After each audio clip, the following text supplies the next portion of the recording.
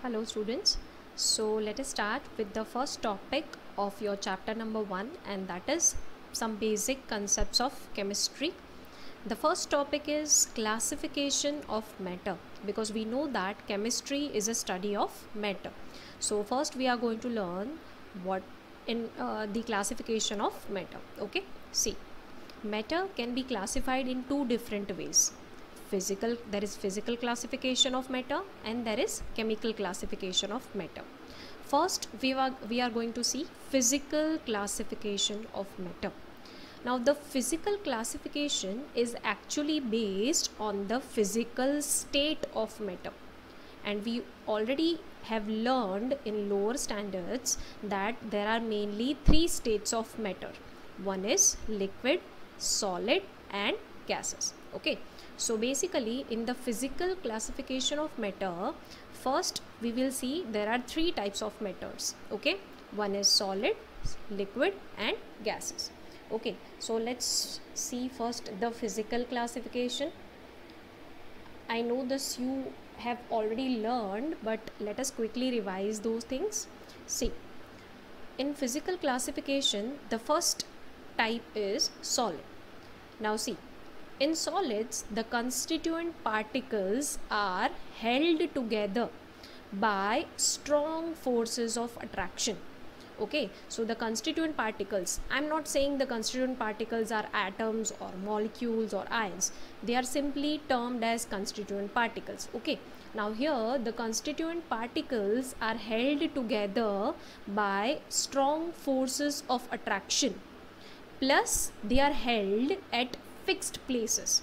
Okay now since they are held at fixed places uh, actually it is not fixed place because the uh, you know the constituent particle can oscillate. They can oscillate around their mean position. But uh, for now we will consider we will not go into that detail. Just consider that your constituent particles are at fixed places and which gives your solids fixed shape. Okay so the fixed shape is due to the fixed spaces occupied by your constituent particles. Okay. Now, since the constituent particles are held together by strong forces of attraction, hence if they are already attracted by strong forces of attraction तो अगर आप उसको और compress करने जाओगे तो compress करने से क्या होगा those attraction forces will change into repulsive forces which is going to make your solid highly unstable okay? And that is why your solids are non compressible always they are non compressible okay? So this strong forces of attraction between the constituent particle is responsible for the fixed volume as well as for the non compressibility of your solid okay? Now here i have given you an example of diamond uh, you also know that uh, there are many examples हमारी benches जो हैं are all solids right so let's move to the second uh, category in the physical classification which is liquid now see here the constituent particles are held together by relatively weak forces of attraction किससे relatively weak as compare to solid solid से relatively weak forces of attraction होते हैं liquid के constituent particles के बीच में okay now if those are little bit weaker than the forces of attraction are little bit weaker than the solids hence here the particles are not held at fixed place and if they are not held at fixed place और space then your liquids have no fixed shape why fixed shape होने के लिए आपके constituent particles का एक fix space पे होना बहुत ज़रूरी है। And that is why liquids don't have fixed shape but still since they are there are constituent there are forces of attraction between the constituent particles and hence your liquids are once again non compressible क्योंकि अभी अभी मैंने आपको बोला था the forces of attraction between the constituent particle is responsible for the fixed volume and non-compressibility. So liquids are also non-compressible and they also have fixed volume. But fixed shape nahi hota because of because of the movement of the constituent particles. Okay. Now, example I have given you of water. Okay. you can take any other liquid also now let's move to the third category and that is gas okay, now, what are gases? Gases have, actually, they have negligible forces of attraction between the constituent particles. इनके बीच में there is you can consider zero forces of attraction and that is why अगर zero force of attraction है तो they will be they will have no specific volume once again and they are compressible आप उसको further compress कर सकते हो because there are no forces of attraction okay. Now since the constituent particles are allowed to move in gases also just like liquid in gases also the constituent particles can easily move. And hence they don't have fixed shape. Okay. So i've given you an example of air but you can write any other gas also. Okay. So this was your physical classification of matter now let's move to the second type of classification of matter and that is chemical classification of matter. Okay now in chemical classification of matter you can classify your uh, classify matter into two categories. As you can see i hope this is visible to you guys. The first category is pure substances and the second category is mixtures. Okay this is pure substances and this is mixtures. Now listen carefully. What is the difference between pure substances and mixture? See in pure substances the constituent particles have fixed composition. Once again what are pure substances? Matter in which constituent particles have fixed composition. Okay but what are mixtures here in this type particular type of matter the constituent particles don't have fixed composition okay? There is no fixed composition in mixtures but there is fixed composition in pure substances. Is this clear? Okay let's move ahead one more difference that you must remember between pure substances and mixture which is mixtures can be separated by physical method आप उनको physical method जैसे कि evaporation है filtration है ठीक है okay fractional distillation है आप उनको मिक्सचर्स को you can separate by physical methods but pure substances cannot be separated by physical methods. I hope this is clear. Once again, chemical classification has two types, pure substances and mixtures. Pure substances have fixed composition of constituent particles. Mixtures don't have fixed composition of constituent particles. Once again, pure substances cannot be separated by physical method. Mixtures, other hand, can be separated by physical methods. Now mixtures as you can see have further two types. One is homogeneous mixture and the second one is heterogeneous mixture. Homogeneous and heterogeneous. What do I mean by homogeneous mixture? So keep this in mind. Homogeneous mixtures are the mixtures which have uniform composition throughout, which have uniform phase throughout okay? So let me give you an example of a homogeneous mixture. See if you add salt in water okay, अगर हम salt को थोड़ा सा एक चम्मच salt लेके उसको पानी में डालें देन यू नो दैट धीरे धीरे सॉल्ट पानी में डिज़ोल्व हो जाता है and the water becomes salty but ऐसा नहीं होता कि कहीं पे पानी में सॉल्ट का अमाउंट ज़्यादा होता है या कहीं पे कम होता है right it becomes uniform everywhere in the glass and that such mixture is known as homogeneous mixture i hope this is clear so let's what do uh, so what what is going to be heterogeneous mixture the mixture which don't have uniform composition throughout जहाँ पे uniform composition throughout maintain नहीं रहता ऐसे mixture को हम क्या बोलते हैं heterogeneous mixture okay so let me give you an example of a heterogeneous mixture see if you add oil in water आप वाटर के अंदर ऑयल डालो तो क्या ऑयल और वाटर मिल के क्या आपको एक यूनिफॉर्म कंपोजिशन देंगे? नहीं right there will be a layer of oil on water surface तो यू नो दैट क्योंकि oil is not soluble in water it is not going to give you a uniform composition everywhere hence this type of mixture is called heterogeneous mixture. Okay? So we learned mixtures we learned the two types of mixtures homogeneous and heterogeneous. Now let's move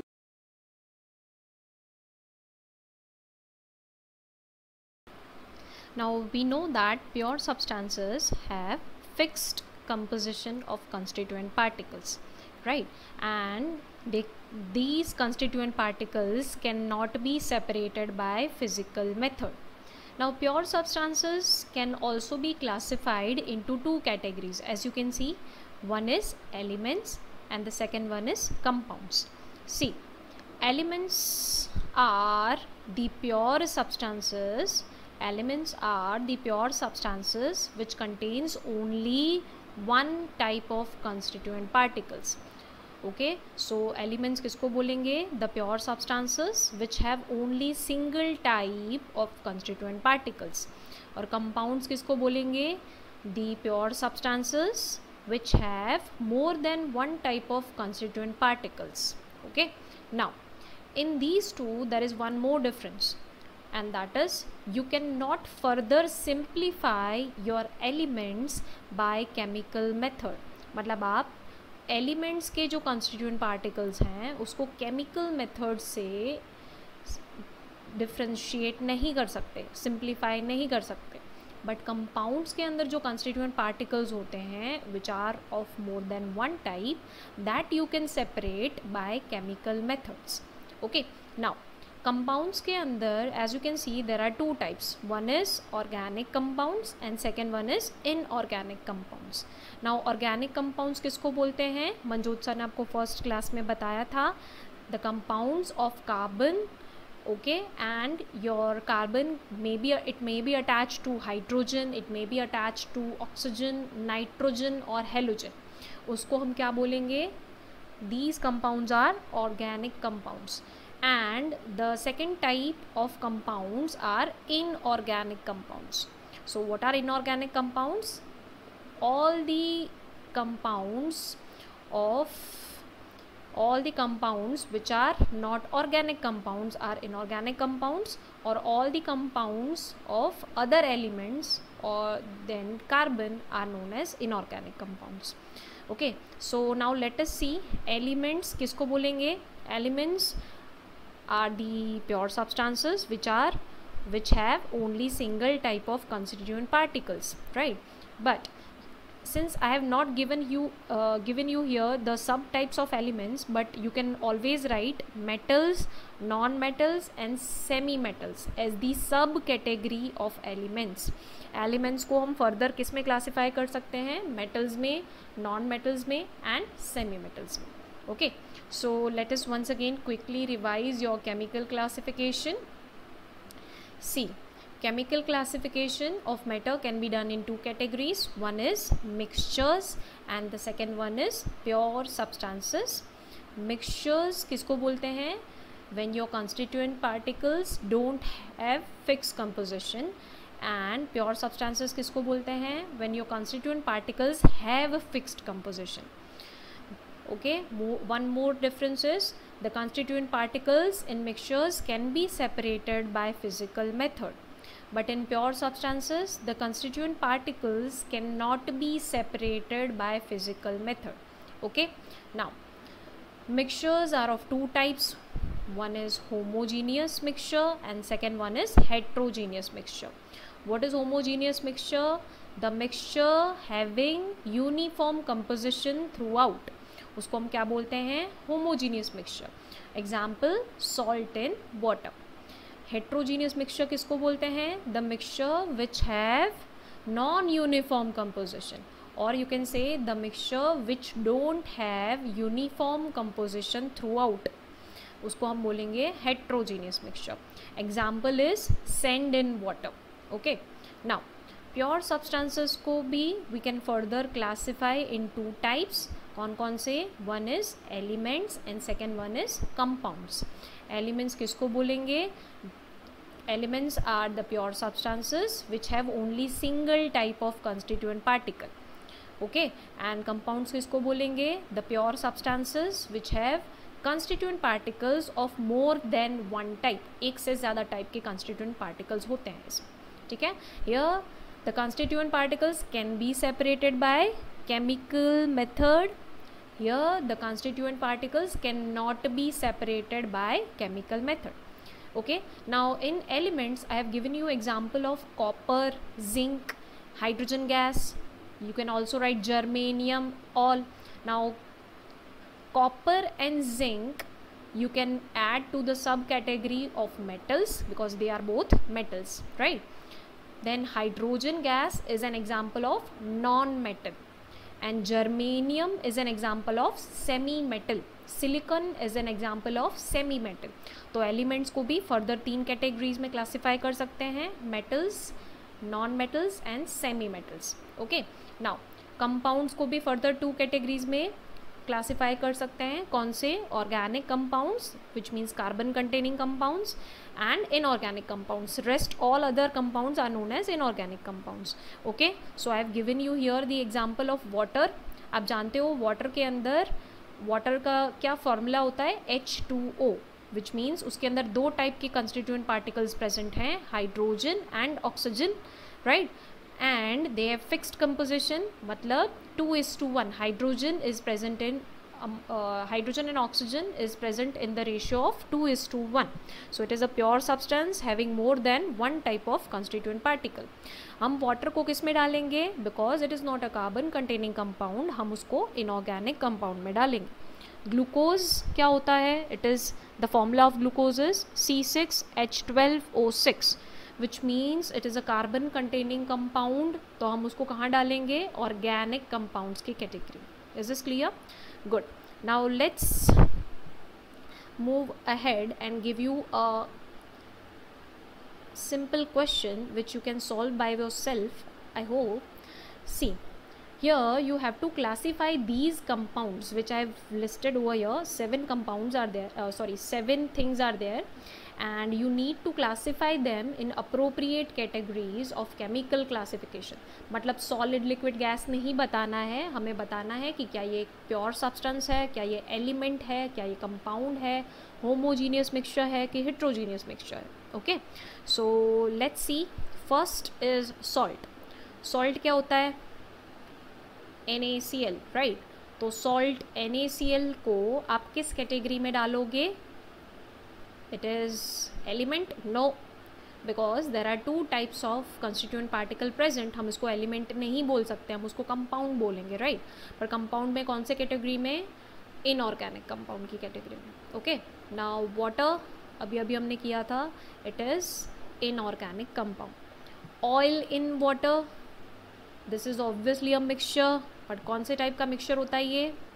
Oil in water it is heterogeneous mixture diamond see diamond and graphite both are not compounds okay remember this both are not compounds they are just different forms of carbon okay they are just different forms of carbon okay then comes air air क्या होता है air is homogeneous mixture हम इसमें कुछ बच्चों को तुरंत दिमाग में आएगा कि एयर के अंदर पोल्यूशन भी तो हो सकता है कुछ एरियाज़ में, कुछ में नहीं हो सकता। तो how can it be homogeneous हमने यहाँ पे एयर को नॉन पोल्यूटेड कंसिडर कर लिया है okay see let's move coal coal is याद रखना, आपने अभी तक ये पता नहीं पढ़ा है कि नहीं but coal is also one type of carbon only okay so diamond और ग्रेफाइट जो होता है they are the crystalline form crystalline form of carbon and coal is non crystalline form और उसको हम अमॉर्फस फॉर्म भी बोलते हैं कार्बन का। So diamond graphite and coal is actually elements okay so is this clear good so यहाँ पे we are ending with topic number one and that is the classification of matter